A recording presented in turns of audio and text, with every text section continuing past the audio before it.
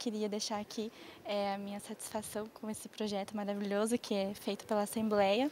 É realmente a melhor experiência universitária que a gente tem na vida e de, apresentar projetos, discutir é, novas ideias, novas, novas é, dimensões do que é, é direitos humanos, direitos, direitos fundamentais.